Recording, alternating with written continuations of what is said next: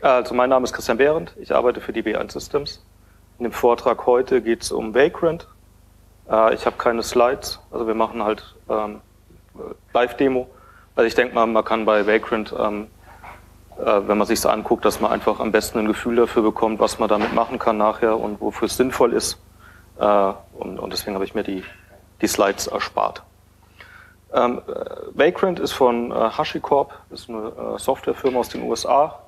Äh, und es geht primär darum, dass man hier ähm, reproduzierbare, leichtgewichtige, portable Entwicklungsumgebungen damit erstellen kann.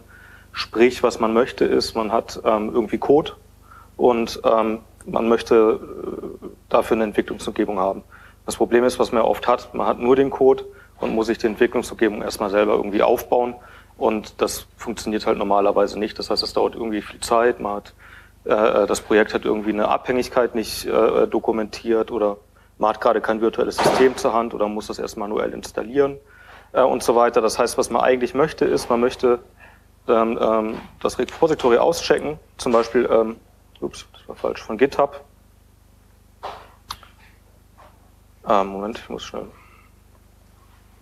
Also ich habe meinen Code, ich möchte den auschecken, ich möchte jetzt damit irgendwie testen. Ich nehme jetzt Terraform als Beispiel, das ist ein anderes Projekt von äh, der gleichen Firma.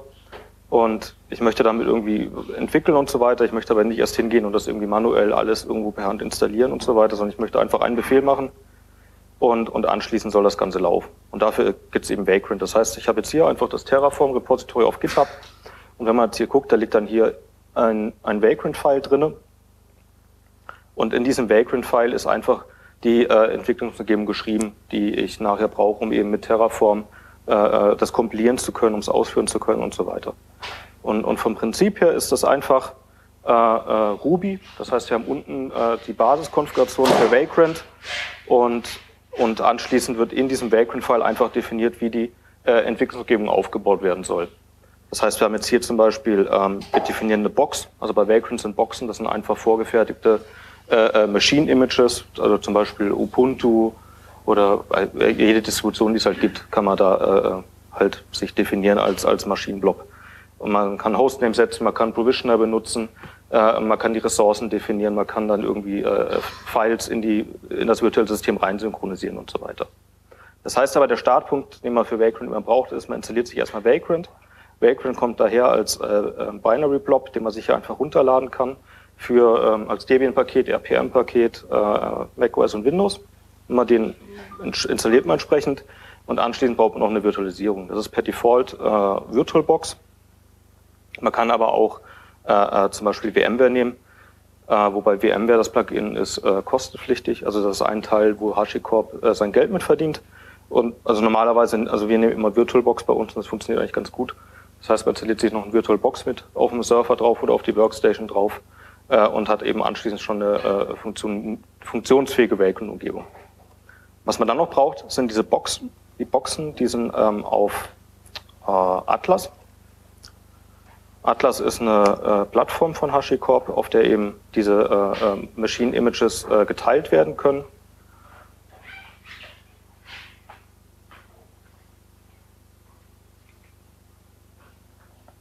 Und ähm, Moment.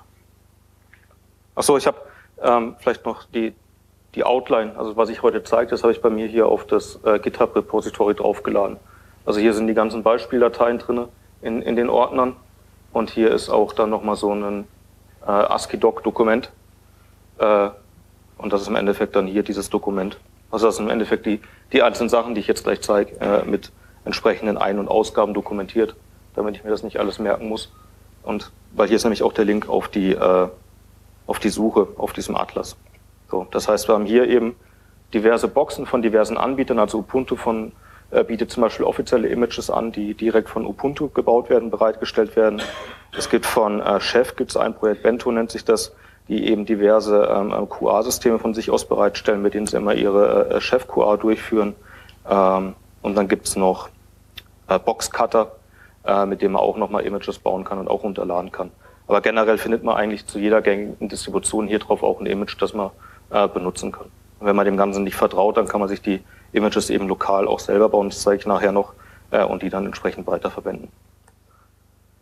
Wenn man jetzt mit Vagrant anfangen will, muss man im Endeffekt einfach, man braucht dieses Vagrant-File und das initialisiert man sich einfach mit Vagrant init und dann eben entsprechend einfach den, den Namen von dem Image.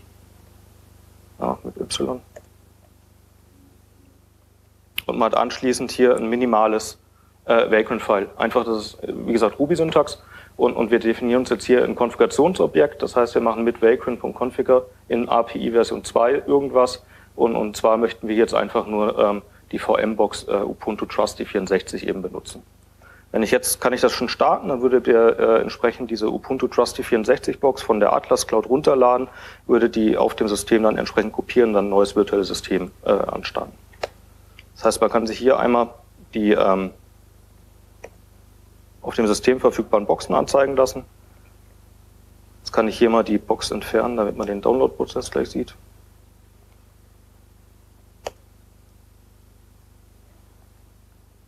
Macht jetzt einfach ein Vagrant ab und anschließend wird eben entsprechend die äh, jetzt von Atlas diese, dieses äh, Machine Image runtergezogen und ja, das dauert jetzt einen Moment. Genau. Und, und anschließend wird das jetzt eben einfach auf äh, äh VirtualBox äh, ein, ein neues, äh, eine neue VM erstellt. Das heißt, wenn wir jetzt hier, ja, ist noch nicht da.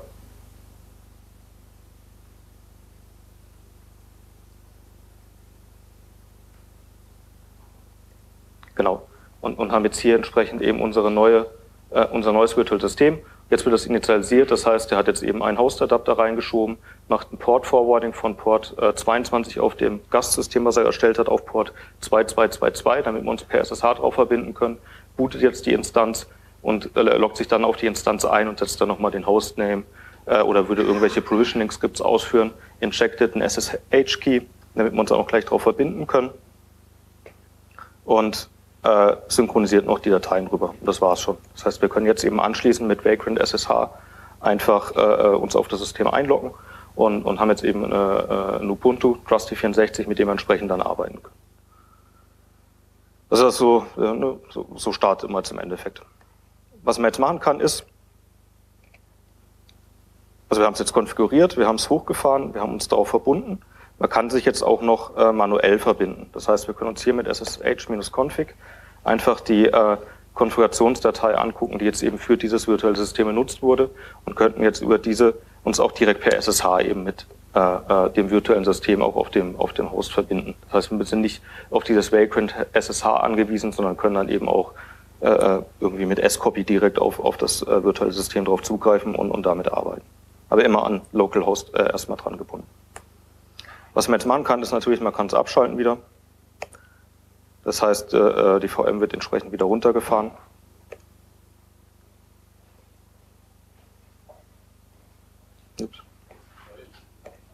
Und dann, bitte? Destroy ist, ähm, ja, also runterfahren und kaputt machen. Also es gibt auch noch, also es gibt auch noch ähm, ähm, Vagrant Halt. Äh, das würde halt wirklich äh, runterfahren. Und es gibt noch ein Vagrant äh, Suspend, wo er dann entsprechend ähm, den, den Machine State äh, speichert. Und dann kann man mit ähm, Suspend dann entsprechend äh, mit Resume wieder nachstarten. Aber ähm, also Destroy würde halt wirklich die äh, VM zerstören und genau. Genau, das erste, was man machen möchte, ist natürlich, man möchte dem Ganzen einen schönen Hostname geben. Das heißt, man hat eben die Möglichkeit, über diese Konfigurationsobjekte jetzt auf diverse Parameter von diesen VMs zuzugreifen. Ja. Also das Einfachste ist einfach jetzt erstmal ein Hostname zu setzen und man hat da eben eine ganze Latte von äh, Einstellungsmöglichkeiten, die man auf so einer VM äh, machen kann. Also man kann Boot Timeout machen, wie lange soll das warten, bis es hochkommt, soll die Box aktualisiert werden und so weiter. Also man kann sich eben hier in dieser Dokumentation von Vagrant äh, die ganzen einzelnen äh, Parameter für dieses config.vm-Objekt entsprechend angucken äh, und, und entsprechend auch setzen. Das heißt, wir werden da nicht groß darauf rückgreifen. Wir werden auch nachher noch hier ähm, VM.network uns angucken, wie man eben äh, weitere Netzwerke an so eine äh, Vagrant-Box mit ranbekommt. Ähm, und Provision wird man natürlich machen. Ähm, aber wer da nochmal irgendwelche Details braucht, kann, der findet da alle äh, Parameter entsprechend aufgeführt. Also wenn wir die Box jetzt entsprechend starten würden, dann hättet ihr dann eben den Hostname Vagrant gesetzt. Also nicht sonderlich äh, spannend. Deswegen machen wir direkt mit dem nächsten Beispiel weiter. Und zwar Ressourcen anpassen. Also normalerweise so eine Vagrant-Box, wenn man die runterlädt von Atlas, dann kommt die schon mit einem mitgelieferten Vagrant-File. Äh, und normalerweise sind da die ähm, Ressourcen äh, innen drin relativ gering. Das heißt, die VirtualBox von Ubuntu hat irgendwas mit, ich glaube, 500 Megabyte RAM und eine CPU. Und das reicht halt für die wenigsten Sachen. Deswegen kann man sich entsprechend einfach mit diesem äh, Provider-Objekt innerhalb von diesem Config-VM-Objekt äh, auf die äh, äh, Ressourceneigenschaften von VirtualBox drauf zugreifen und könnt jetzt hier dann eben über äh, Memory und CPUs entsprechend die äh, für VirtualBox die, die Ressourcen anpassen. Hier gibt es auch wieder noch mehr äh, Konfigurationsparameter, die man setzen kann, die jetzt aber auch nicht wirklich äh, spannend sind. Das heißt, man kann zum Beispiel, wenn man jetzt äh, Vagrant auf einer Workstation betreibt, äh, wird es eben normalerweise per Default in Headless gefahren. Das heißt, man sieht eben nicht die äh, Ausgabe vom Screen. Man könnte jetzt eben, wenn man zum Beispiel das GUI auf, auf True setzt, entsprechend äh, das Ganze in einem nicht Headless-Status fahren, dass dann von VirtualBox direkt der Screen mit hochkommt. Oder man kann, ja, also die ganzen Sachen, die man eben mit dem VBox Manager auch durchführen kann, entsprechend auch über äh, dieses äh, Provider-Objekt mit, äh, mit ausführen. Das heißt, indem man einfach dieses V-Customize hinten dran mit dem Modify VM Comment zum Beispiel, das wäre dann einfach eben das Comment, was man hier auf den äh, hiermit auch draufschmeißt und kann dann darüber auch die ganzen äh, einzelnen Parameter und, und Optionen von diesem VBox Manage äh, über Vagrant ausführen und, und anpassen. Genau, das ist jetzt auch mit hier drin. So, das heißt, genau, jetzt haben wir unser ähm, virtuelles System auf dem äh, Hypervisor gestartet und wir kommen da irgendwie per Local Host auch dran. Äh, das bringt uns aber erstmal noch nichts. Das heißt, wir wollen ja auch irgendwie nachher irgendwas auf dem virtuellen System installieren und, und ausführen. Das heißt, man hat bei Vagrant dann eben die Möglichkeit, sogenannte Forwarded Ports zu machen. Das heißt, wir haben unser Hypervisor-System und auf dem können wir die Ports definieren, jetzt hier zum Beispiel 8080 und sagen, dass dieser Port 8080 auf dem Hypervisor-System auf das interne System, auf das Gastsystem auf Port 80 entsprechend äh, weitergeleitet werden soll. So dass man dann nachher eben einfach, wenn wir ähm, das System hochgefahren haben und jetzt zum Beispiel innerhalb von der Instanz einen Webserver installieren, dann würde das dann eben über den externen Hypervisor über Port 8080 entsprechend dann der, der Webserver erreichbar sein. Und so kann man dann eben einfach hier drinnen sich seine Web-Applikation zum Beispiel installieren und vorkonfigurieren und anschließend, wenn man im GitHub-Repository das Vagrant Up ausgeführt hat, dann nachher auf der lokalen Workstation auf Port 8080 und dann kommt man eben innen drin auf dem äh, äh, Webserver einfach wieder raus.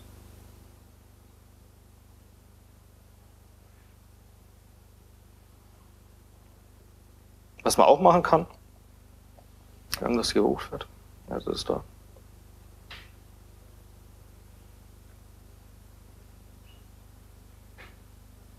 Genau, man sieht jetzt hier auch diesen Hostname, den wir eben äh, in dem vorherigen Beispiel gesetzt haben, dass der jetzt eben auf Vagrant ist und dass wir hier auch entsprechend jetzt äh, den 1 GB RAM haben.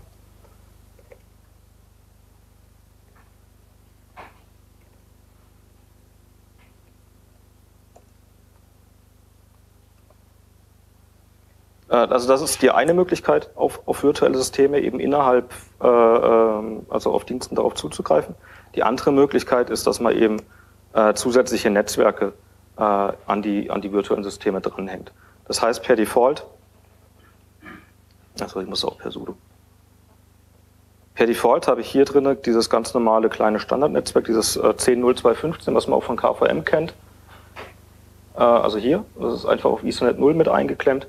Und man kann jetzt eben auch einfach hingehen und kann sich hier oben äh, ein weiteres ähm, Private Network äh, mit dran definieren. Das heißt, wenn wir jetzt hier dieses äh, Vagrant-File starten würden, hätten wir eben noch ein Ethernet 2, äh, Ethernet 1 wäre es von der Nummerierung her, wo dann eben in dem 192er Netz mit reingehängt ist. Und da kann man beliebig viele äh, Netzwerke mit dranhängen, so viele VirtualBox entsprechend unterstützt und äh, kann auf die dann auch über das lokale System auf diese IP-Range wieder drauf zugreifen. Oder man könnte sich auch dieses Private Network jetzt an eine Bridge dranhängen, das auf dem Hypervisor draufläuft äh, und kann dann auch über extern äh, auf dieses äh, System dann entsprechend darauf zugreifen. Ja. Nee, das macht automatisch. Genau, also man kann, also ja, also man kann es auch erstellen, also es geht auch. Äh, Moment. Also per Default erstellt er das einfach. Genau, man dann hier dieses Host-Only-Netzwerk. Und das macht man einfach hier, wenn man dieses VirtualBox int.net äh, explizit auf True setzt. Ja. Und das andere wäre eben, äh, andersrum, Entschuldigung, wenn er das auf True setzt, dann nimmt er ein internes Netzwerk, ansonsten nimmt er ein Host-Only-Netzwerk. Also das ist im Endeffekt beides ungefähr das Gleiche. Und was man machen kann, ist, man kann sich ein Netzwerk auch vorstellen und kann dem dann hier aber auch den Namen mitgeben. Ja. Das heißt, wenn ich hier kann ich mir auf VirtualBox-Seite schon mal ein internes Netzwerk anlegen, gebe dem Ganzen den Namen Testing, dann würde Vagrant das existierende Netzwerk entsprechend mit weiter nutzen. Wenn es aber nicht, wenn es einfach nicht gesetzt wird, dann legt er das manuell an und wird es dann auch wieder abräumen, wenn er äh, die Instanz entsprechend wieder runterfährt. Also es ist ganz gut, wenn man Vagrant dann zum Beispiel mit einem existierenden VMs irgendwie äh, zusammen verheiraten will. Dafür kann man das dann gut verwenden.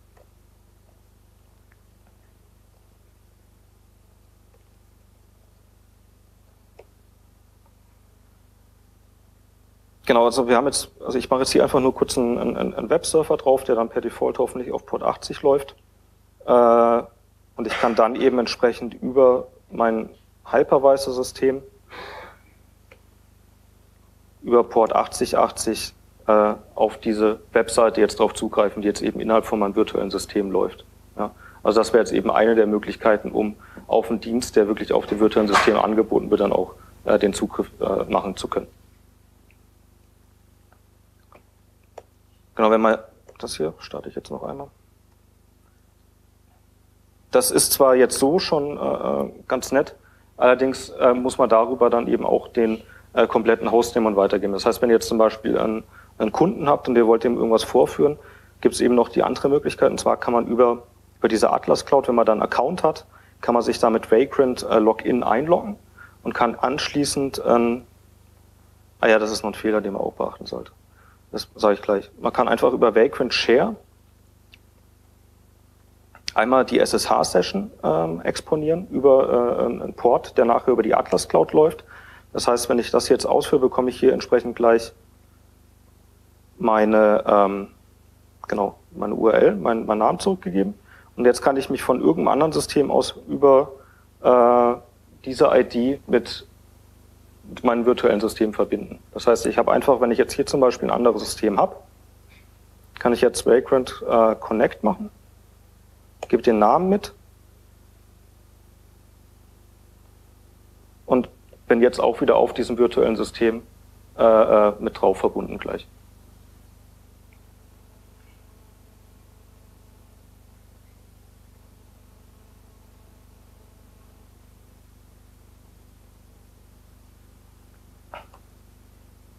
Jetzt aber nicht.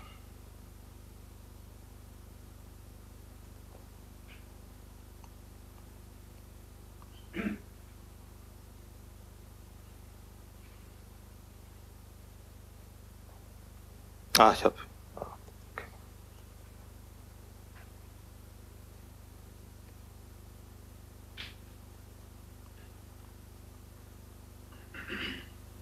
So, und jetzt bin ich eben äh, einfach wieder auf mein virtuelles System draufgesprungen über die Atlas Cloud.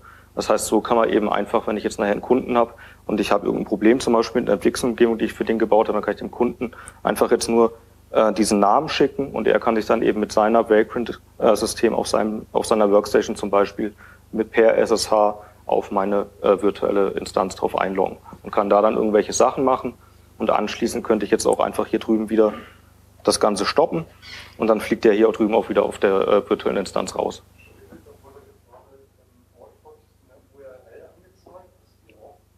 Das ist, ja, Moment, das, ja, das funktioniert auch.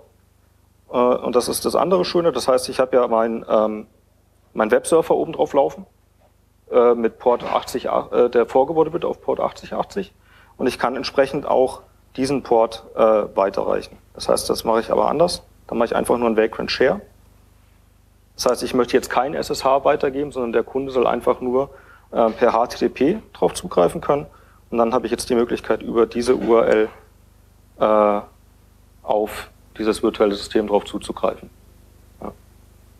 Und so kann man dann eben dem Kunden, weiß ich nicht, irgendwelche Zwischenstände von der Entwicklung zeigen oder dass ein, ein UX-Designer irgendwie dann sein Webinterface zur Verfügung gestellt bekommt und hat dann die Möglichkeit eben über so eine externe URL direkt auf das virtuelle System zuzugreifen. Und man muss sich nicht irgendwelche Gedanken machen, wie kommt denn jetzt irgendwie der Kunde von außen in mein internes Netzwerk und hin und her. Das heißt, man muss eben nur Zugriff auf diese Atlas Cloud haben und kann darüber dann diesen Austausch äh, von den Verbindungen entsprechend auch machen.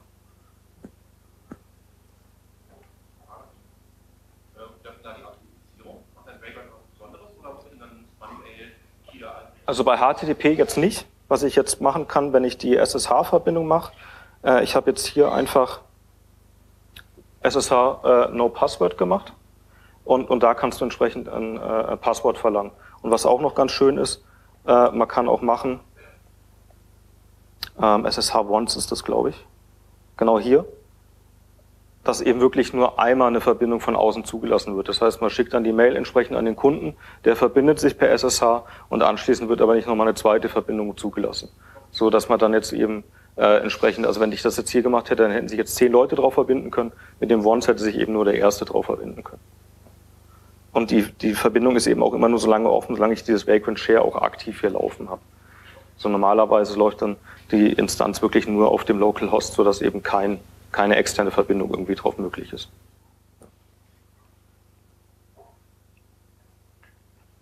Äh, genau. Ja, was man, was man hier noch gesehen hat, ja, wir kriegen das wieder runter. Ähm, wenn man auf einem Hypervisor-System eben versucht, die, ähm, diesen 8080-Port zweimal auf den Port 80 auf dem Host umzuleiten, dann funktioniert das eben nicht. Das heißt, wir haben hier eine äh, laufende Instanz momentan. Das kann man sich mit Vagrant Status anzeigen lassen. Äh, das heißt, und, und in, in, dieser Instanz forwarden wir den Port 8080 schon auf den Port 80 vom Hypervisor. Und wir haben jetzt hier versucht, das andere Beispiel zu starten, in dem eben auch dieser Port 8080 umgeleitet wird. Und entsprechend bekommt man dann hier eben den Hinweis, äh, dass der Port schon genutzt wird und das Ganze eben nicht nochmal möglich ist. Das heißt, man muss hier eben erst die äh, Instanz einmal runterholen, bevor man dann eben die, das gleiche Port Forwarding nochmal machen kann.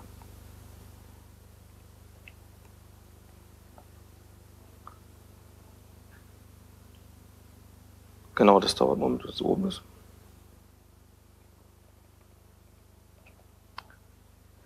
Genau, Sharing Packaging. Genau, was jetzt, das müssen wir kurz warten, bis es oben ist.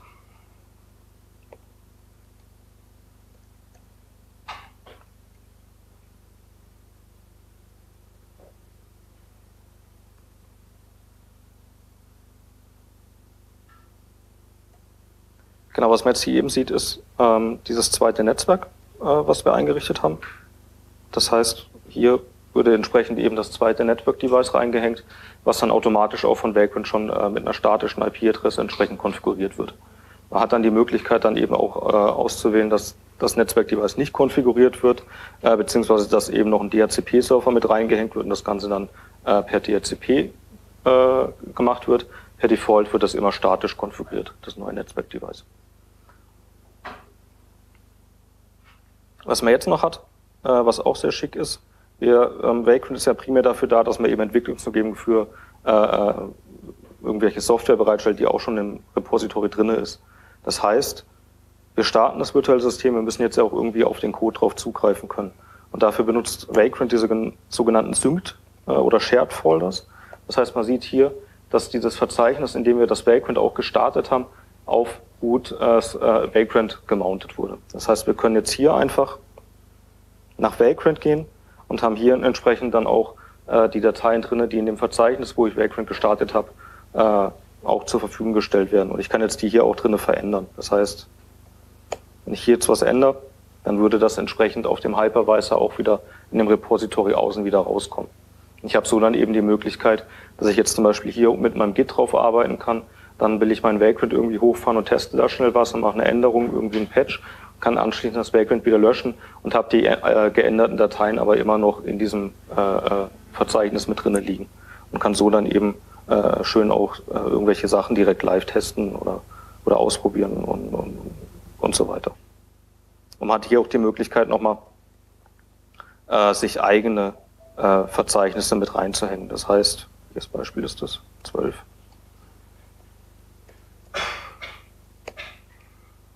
Das heißt hier, wenn ich jetzt sage, ich möchte zum Beispiel ein spezielles Verzeichnis nochmal, was irgendwo auf dem Hypervisor liegt, auf eine andere Destination innerhalb von der, äh, ähm, von der Instanz verschieben, kann ich mir auch nochmal mehrere Sync-Folders mit rein äh, basteln.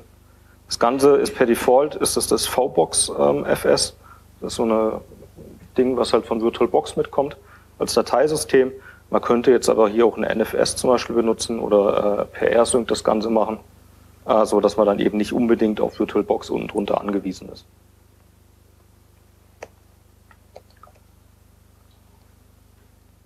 Was man auch machen kann, ist, Vagrant ist normalerweise, die Kommandos sind immer bezogen auf das Verzeichnis, wo ich gerade drinne bin. Das heißt, wenn ich hier Vagrant Status mache, dann geht er davon aus, dass hier auch ein Vagrant-File drin ist, dass er eben gegenprüfen kann. Was es auch noch gibt, ist eben Vagrant äh, Global Status. Aber mit dem kann ich dann eben anzeigen, was komplett auf diesem Hypervisor draufläuft. Das ist immer dann ganz praktisch, wenn man irgendwo vergessen hat, seine äh, Vagrant-Instanzen wieder abzuräumen und, und irgendwann läuft der Hypervisor halt voll, äh, dass man dann eben einfach identifizieren kann, in welchem Verzeichnis ich das gestartet habe. Und ich kann da dann eben entsprechend reingehen und, und kann die Instanzen aufräumen.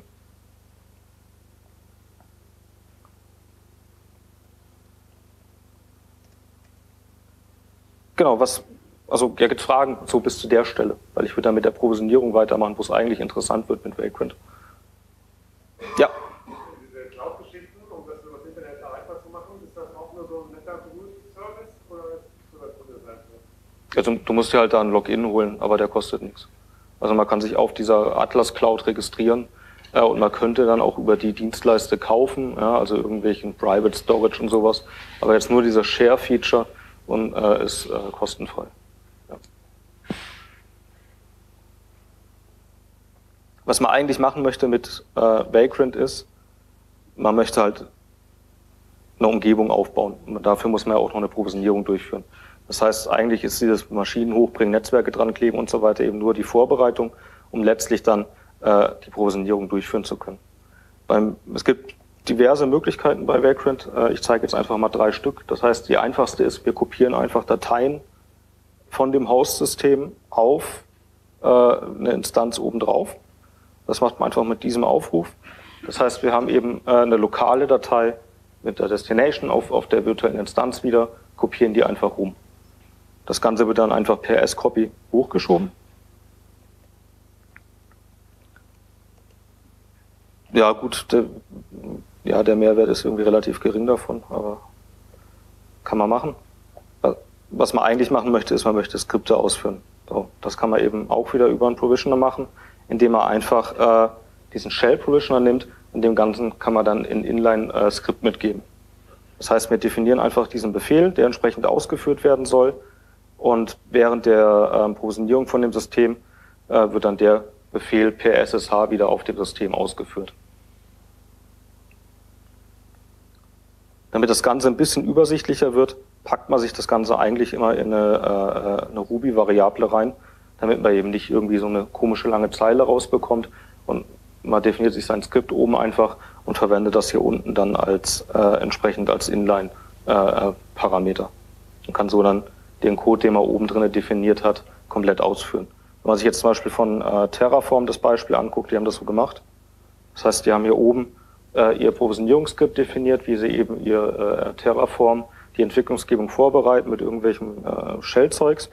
Und hier unten wird eben einfach einmal dieses äh, äh, Skript ausgeführt während der Provisionierung.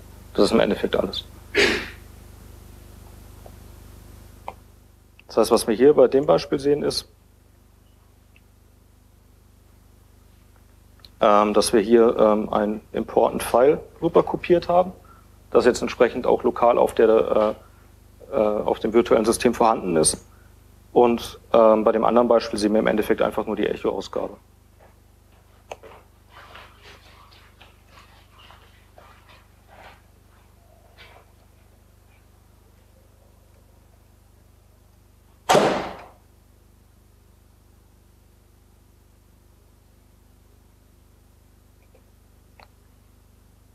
Das Ganze ist aber auch nicht, nicht wirklich komfortabel. Das heißt eigentlich, möchte man das dann auch nicht innerhalb von dem Vagrant-File mit äh, rüber migrieren, sondern man möchte das dann einfach in eine externe Datei mit reinschieben. Das heißt, man hat auch natürlich die Möglichkeit, einfach hier ähm, ein Skriptpfad mit anzugeben, so dass man eben anschließend da dieses Skript in die lokale Datei reinschiebt und äh, Vagrant würde dann die Datei per SSH wieder auf die Instanz rüber kopieren und anschließend einfach die Datei auf dem virtuellen System ausführen. Und die Ausgabe würde dann aber in dem Moment genauso aussehen.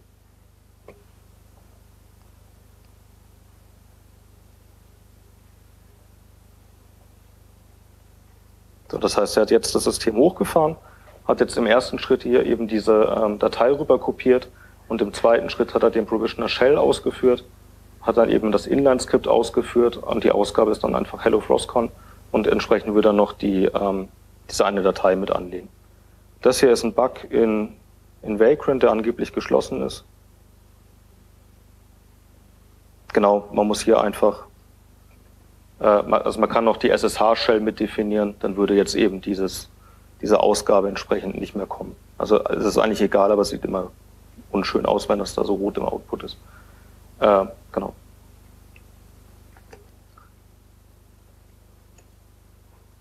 Was man auch machen kann, ist, also man kann beliebige Provisioner nehmen. Also Shell ist jetzt ein ganz einfaches Beispiel. Äh, äh, man hat noch die Möglichkeit, man kann Puppet verwenden, man hat Ansible, Salt, Chef. Äh, also irgendwie alles, was es so an gängigen Provisionern gibt, kann man entsprechend auch ähm, ähm, verwenden. Also ich habe ein Beispiel jetzt gemacht mit, ähm, mit Ansible. Das heißt, wir können jetzt hier einfach, das heißt, wir haben hier oben ist unser Shell Provisioner. Wir haben jetzt hier einfach definiert, dass wir äh, ein Ansible Playbook ausführen wollen und, und das würde genauso funktionieren. Das heißt, wir haben lokal einfach hier ein, ein sehr einfaches äh, Playbook liegen und das möchten wir jetzt eben auf dem virtuellen System entsprechend ausführen. Und wenn wir das Ganze starten, äh, würde einfach jetzt wieder dieses Ansible Playbook rüber kopieren und würde das dann eben auf dem System ausführen.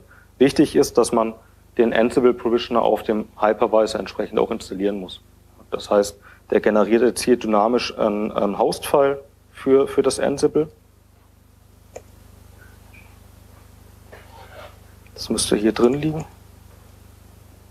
Aber es kommt erst, wenn der äh, Provisioner auch läuft.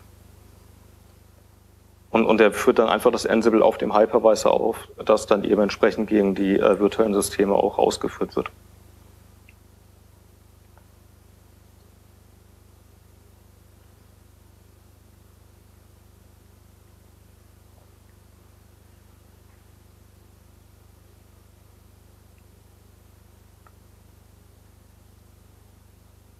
Genau, also jetzt müsste hier eigentlich, genau. Also er legt hier die Inventory-Datei ein, wo dann eben entsprechend sagt, äh, wo dieses System erreichbar ist, führt dann auf dem Hypervisor entsprechend das Ansible aus, was jetzt gerade hier oben läuft und würde jetzt eben gerade den, den Update-Cache äh, aktualisieren und, und macht entsprechend danach eine Installation von dem VI. Das Schöne ist, ähm, also wenn man so ein Shell-Skript mehrmals hintereinander ausführt, dann, dann passieren ja manchmal komische Dinge. Aber Ansible ist generell darauf ausgelegt, dass man es eben mehrmals ausführen kann. Das heißt, wir könnten jetzt hier auch nochmal ähm, einfach mit Vagrant Provision nur äh, alle Provisionierungsschritte ausführen lassen. Und wir können jetzt hier auch explizit auswählen mit ah, bis, Provision bis dass wir jetzt eben nur den Ansible Provisioner nochmal drüber laufen lassen wollen und jetzt würde eben entsprechend der Ansible-Schritt auf dem laufenden System nochmal ein zweites Mal ausgeführt werden. Das heißt, wenn man jetzt hier irgendwelche Anpassungen macht im, im Playbook, keine Ahnung, nochmal ein zweites Paket installieren oder sowas.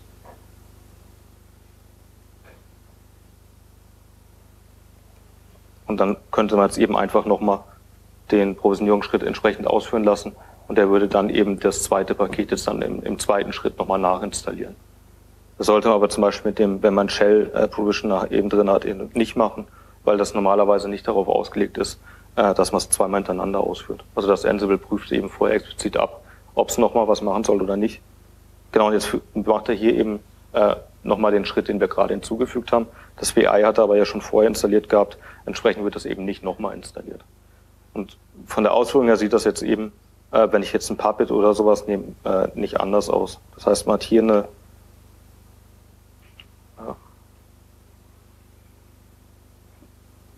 genau hier hat man eine Auflistung von allen Provisionern, die eben äh, in dem Default-Paket mit drin sind, also CF Engine, diverse Chef-Möglichkeiten, Docker, Puppet, Salt. Und man hat jetzt auch noch die Möglichkeit, ähm, äh, Plugins zu benutzen und hat hier dann auch nochmal die Möglichkeit, diverse Sachen nachzuinstallieren, die eben nicht im, äh, äh, direkt bei Vagrant mitgeliefert werden. Wo ist das? Share. Nee, das war genau mal hier. Also da gibt es nochmal diverse Provider, also zum Beispiel für DigitalOcean oder AWS, äh, Google Cloud Engine, äh, Compute Engine oder LibWirt gibt es auch. Also ich kann da eben auch mit KVM LibWirt auf einem lokalen Hypervisor arbeiten und das entsprechend integrieren äh, und habe da die Möglichkeit dann äh, die Sachen einfach per Plugin nachzuinstallieren. Das heißt, wenn ich jetzt zum Beispiel OpenStack benutzen möchte als, als Backend, würde ich einfach Plugin install und jetzt würde der entsprechend eben das Vagrant-Plugin installieren. Das kommt einfach als äh, RubyGem äh, daher. Und jetzt hat er eben entsprechend dieses Vagrant OpenStack Provider als Plugin lokal installiert. Und man könnte das jetzt eben entsprechend als äh, äh, Provider benutzen. Und so kann man sich dann eben nochmal die fehlenden äh, Provider, je nachdem welche Cloud man benutzt oder welchen Hypervisor man hat, äh, nachinstallieren. Je nachdem, was man hinten dran hat als Provider, sieht dann die Bedienung ein bisschen anders aus. Also das hier jetzt zum Beispiel ein Beispiel für äh, den OpenStack-Provider und man hat jetzt hier eben andere Konfigurationsoptionen entsprechend. Ja, bei VirtualBox muss ich ja keine äh, Credentials mit angeben und wenn ich jetzt eben OpenStack mit hinten dran antreiben möchte, dann muss ich eben nochmal diverse äh, Authentifizierungsparameter mit angeben oder sagen, welches Flavor ich benutzen möchte oder statt der Basebox wie bei VirtualBox habe ich jetzt eben einfach ein Image, was eben auf der OpenStack Cloud schon vorhanden ist. Und das muss man dann nochmal äh, entsprechend spezifizieren. Was jetzt wichtig ist, wenn ich jetzt Vagrant Up äh, mache, einen anderen Provider benutze, dann kann ich den entsprechend hinten mit angeben. Ja. Das heißt, jetzt sage ich eben einfach, ich möchte jetzt das Ganze eben auf meiner OpenStack Cloud oben drauf ausfahren und ich möchte jetzt das Ganze eben nicht mit VirtualBox ansteuern. Und entsprechend verbindet er sich jetzt mit der OpenStack Cloud in dem Fall holt sich die ganzen Sachen, die er runter äh, benötigt und würde jetzt diese Vagrant-File gegen die OpenStack Cloud ausführen. Wenn es dann funktioniert, das ist nur ein DevStack, was da irgendwie drauf läuft mit auf dem System. Das heißt, da hat er jetzt irgendeinen lokalen Fehler gemacht. Aber vom Prinzip her ist das der einzige Unterschied, den ich machen muss, um nachher mein Vagrant-File für eine andere äh, Umgebung hinten dran anzupassen. Das heißt, ich kann durchaus auch mehrere Provider in einem Vagrant-File schon mit drin definieren. Ich könnte jetzt einen libvirt noch mit drin haben und ich würde dann einfach hier Provider libvirt mit angeben und könnte dann das gleiche Vagrant-File auf VirtualBox laufen lassen, auf VMware, auf OpenStack, auf der Google Compute Engine und muss mich darüber nicht kümmern, was der Entwickler jetzt eigentlich hat. Also das ist so einer der, der Vorteile, die man nachher hat, wenn man äh, Vagrant benutzt. Ähm, genau, was habe ich noch? Ah ja, genau. Und zwar eine Maschine ist auch ziemlich langweilig, das heißt, man hat normalerweise in so einer Testumgebung immer mehrere Maschinen. Und entsprechend kann man sich auch, nee, auch mehrere äh, äh, Maschinen in, in Vagrant definieren. Also man hat sogenannte Multi-Machine Environments. Und das sieht einfach so aus, dass man äh, sich ein, ein VM-Objekt im Endeffekt innerhalb von Ruby holt und das dann entsprechend wieder äh, konfiguriert. Das heißt, wir sagen jetzt hier in dem Beispiel, setzen wir einfach irgendwelche Default-Parameter, das heißt, wir möchten halt äh, diese drei Provisioner-Schritte ausführen. Wir möchten auf jeder der Instanzen, die wir starten, ein, ein synchronisierte äh, äh, Verzeichnis haben. Und anschließend definieren wir uns hier die erste Instanz, geben der entsprechend wieder einen Namen, machen ein Port-Forwarding, wir geben dem Ganzen eine IP-Adresse in, in, einem privaten Netzwerk und machen das Ganze dann nochmal für eine zweite Instanz. Und das kann man beliebig fein äh, sich ausbauen. Wenn man jetzt hier dann eben entsprechend reingeht,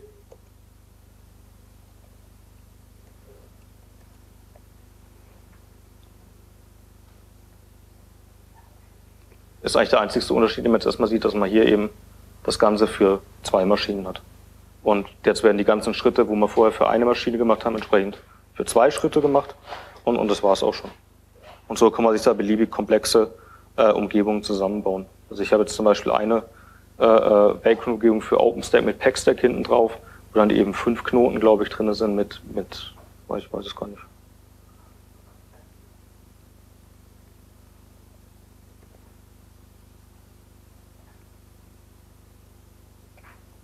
Also das jetzt wäre so ein Vagrant-File für eben eine, eine, eine, komplexere Umgebung, wo dann eben nochmal diverse Netzwerke hinten dran gehängt werden oder wo Block-Devices mit hinzugefügt werden äh, oder wo eben auch einfach mehrere Instanzen vorhanden sind. Also da kommen nachher, ich glaube, fünf Instanzen sind äh, und genau. Was man hier auch noch schön sieht, ist, dass man eben innerhalb von diesen Vagrant-Files auch immer Ruby-Code mit verwenden kann. Das heißt, ich habe hier oben, äh, lade ich mir eine Konfigurationsdatei und die hole ich mir einfach aus einer YAML-Datei raus. Und ich kann dann auf diese ganzen äh, Konfigurationsparameter auch einfach zugreifen. Das heißt, man kann das Ganze auch sehr dynamisch machen, indem ich hier zum Beispiel einfach beliebige Anzahl von ähm, Adressen für Compute-Knoten definiere und jeder dieser Adressen wird nachher ein virtuelles System. Das heißt, wenn ich nachher brauche ich das Vagrant-File gar nicht mehr anpassen, sondern ich kann einfach hier in meine ähm, Config-Datei reinschreiben, dass ich eben genau hier meine, weiß ich nicht, 20 Compute-Knoten virtualisiert betreiben möchte und entsprechend würde ich dann in dem Vagrant-File nachher auch 20 äh, Compute-Instanzen erstellt bekommen. Das heißt, da hat man eben die Möglichkeit, komplett Ruby drinne zu benutzen und, und das entsprechend dann noch auszubauen. Genau, hier ist er beim zweiten Knoten mittlerweile. Das heißt, er hat jetzt hier die Prosinierung einmal für den ersten Knoten gemacht und, und macht das Ganze jetzt nochmal für den zweiten mit. Und was wir jetzt machen können, ist einfach wenn man sich den Status einmal anguckt, dass wir jetzt eben ne, zwei Instanzen haben und jetzt können wir eben, wenn wir das versuchen, sagt er jetzt gleich, ah, Moment, ich weiß nicht auf welche. Genau. Und entsprechend kann man einfach den Namen mit angeben. Und würde jetzt eben entsprechend auf der ersten Instanz rauskommen. Und wenn man hier das Ganze unten macht mit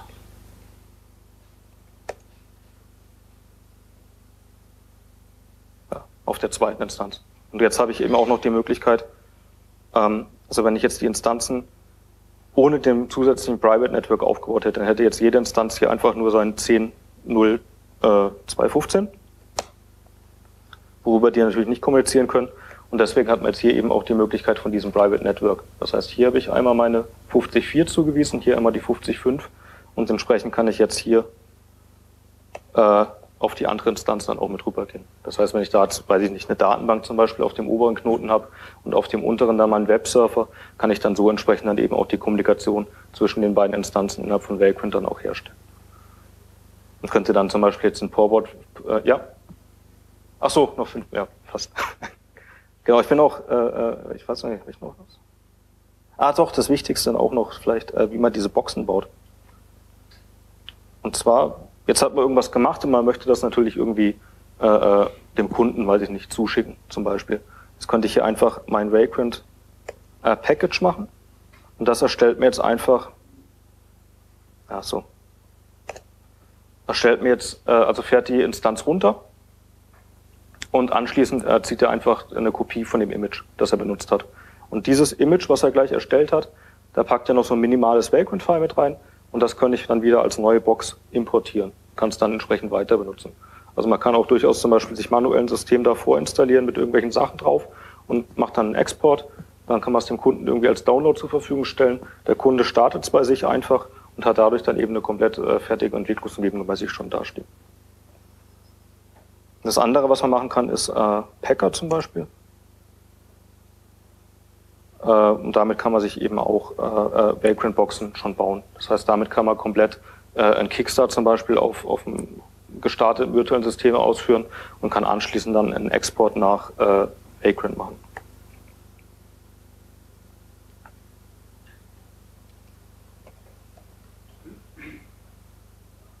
Genau, also das ist jetzt meine Box dann gleich.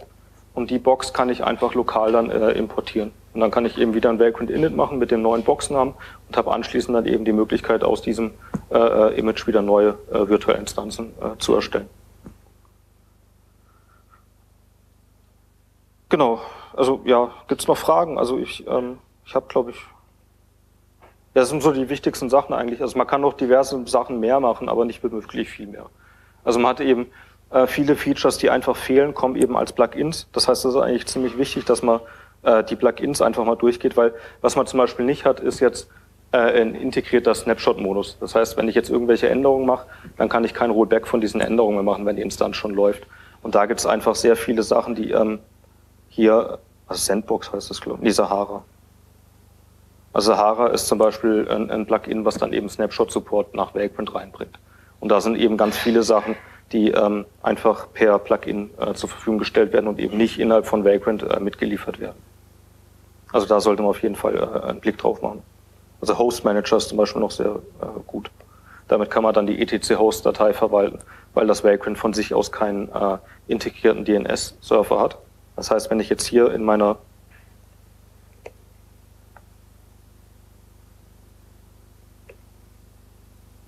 Achso, die haben wir angehalten zum Exportieren.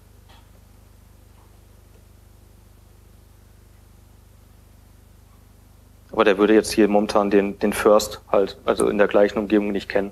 Und wenn man dieses Host Manager Plugin hat, dann wären entsprechend in der etc Host Datei dann auch Einträge auf die anderen Instanzen innerhalb von dieser Multi-Machine Environment mit drin. Was ich jetzt hier machen kann, ist einfach Box Add. Ähm,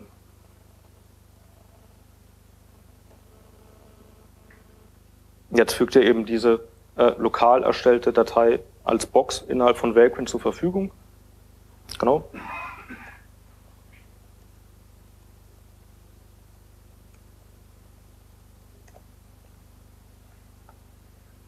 Und man hat jetzt eben dann die Möglichkeit, dass man diese gerade paketierte Box auch wieder einfach äh, in diesem normalen Vagrant Workflow dann auch benutzt.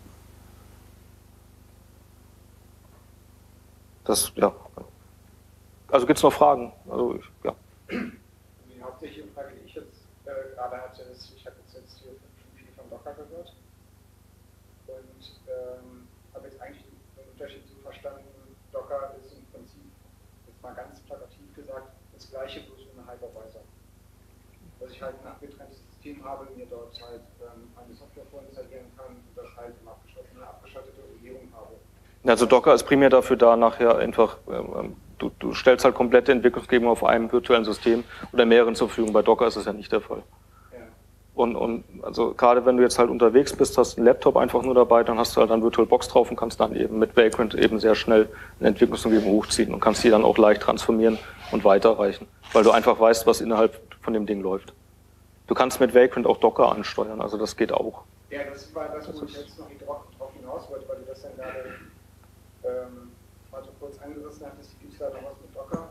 Da war ich dann schon kurz ein bisschen verwirrt. Vielleicht kannst du da nochmal die Unterschiede ein bisschen. Ich, ich habe Vagrant mit Docker noch nie also benutzt. Ich weiß, dass es Docker-Integration hat, äh, äh habe das aber noch nie benutzt mit, mit Vagrant jetzt direkt. Also ich benutze es eigentlich immer nur mit virtuellem System hinten dran, wo ich dann irgendwelche Provisionierung mache. Also wir haben bei, bei Kunden zum Beispiel eine Vagrant-Umgebung, der, der hat eben seine komplette Produktion mit OpenStack innerhalb von Vagrant nachgebildet, mit Puppet hinten dran. Und so hat er eben die Möglichkeit, einfach jederzeit seine Puppet-Manifeste durch die QA durchzuschießen über Vagrant. Und ist da eben nicht irgendwo drauf angewiesen dann. Ja. Dieser Weg ist ohne Plugins, ohne diese Snapshot-Plugins, jetzt keine, keine Visage-Struktur gehen würde. Ja. Also wenn man jetzt einen exakten Zustand haben möchte, wäre der normale Weg, das Ding zu destroyen und komplett neu aufzugeben. Ja, also es ist so gedacht, dass man halt in den äh, Provisioner-Dateien definiert, wie das äh, Entwicklungssystem aussehen soll. Und äh, aber nicht so, dass du halt was machst und dann speicherst du den Zustand und, oder der stellt irgendwas automatisch daraus, sondern das musst du schon selbst machen. Ja.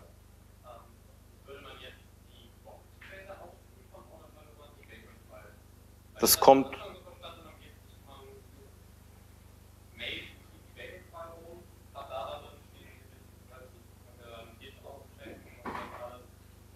Ne, das, das kommt auf den Kunden an, sage ich mal. Also wenn der Kunde ein Entwickler ist und du halt irgendwas dem Kunden, der selbst entwickeln soll, dann kannst du dem natürlich das Vagrant-File mit dem Repository schicken.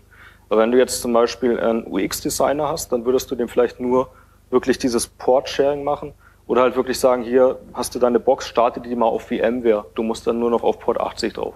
Also das ist, denke ich mal, je nachdem, was man auf der anderen Seite sitzen hat, äh, sollte man dann entsprechend dann entscheiden, was man benutzt. Aber vom Prinzip her würde es reichen, wenn äh, äh mal einfach nur das Vagrant-File mit den zugehörigen Dateien, wenn man irgendwas positioniert, mitgibt und dann eben ein Vagrant-Up ausgeführt wird. Ja. ja. Kann man ein lokales Repository haben, damit man äh, äh das, äh, Natürlich, also man, man kann, die, die Boxen liegen einfach als, als Blobs auf dem HTTP-Server. Und das Atlas ist eigentlich nur so eine zentrale Suchmaschine dafür.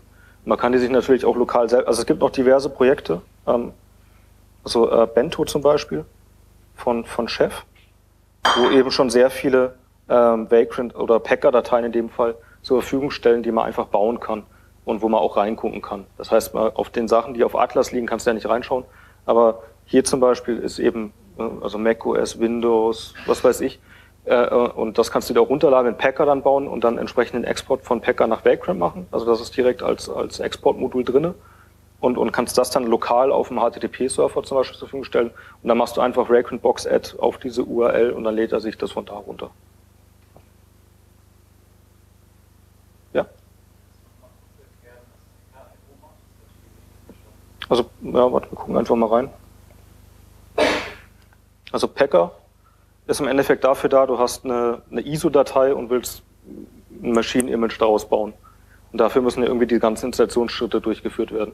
Und dafür ist das Packer da. Das heißt, man kann Packer einfach sagen, ich möchte ein neues VM-System, boote mir bitte dieses ISO, dann kannst du wirklich Keystrokes mitschicken, damit man eben durch die anfänglichen Gruppsachen durchkommt. Und anschließend wird dann normalerweise ein ähm, Websurfer gestartet. Genauso hier, das ist das Bootkommando. Das heißt, er sagt einfach, ich möchte einen Tab machen, dann Linux Kickstart von dem und dem HTTP-Server. Und der würde eben von Packer auch bereitgestellt werden. Und da liegt dann meine ähm, Kickstart-File für Fedora mit drauf. Und anschließend installiert er dann per Kickstart ähm, das System.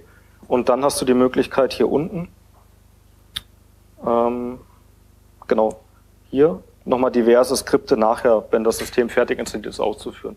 Also der würde dann halt nochmal äh, äh irgendwie SSHD starten oder Vagrant den Key mit rausschmeißen, dass der immer draufkommt.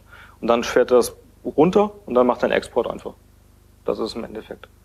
Also im Endeffekt ähm, einfach nur, genau, also Maschinen- und Container-Images zum Erstellen, wenn man eben noch keine, also man kann halt mit Vagrant keine ISO-File ausführen und, und irgendwie damit was machen. Weitere Fragen?